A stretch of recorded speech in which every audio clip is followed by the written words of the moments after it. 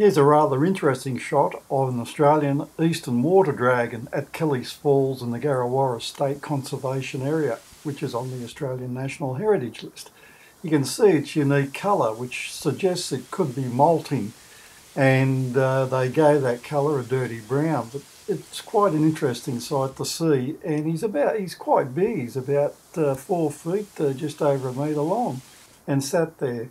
And we decided to leave him in peace. What a beautiful sight.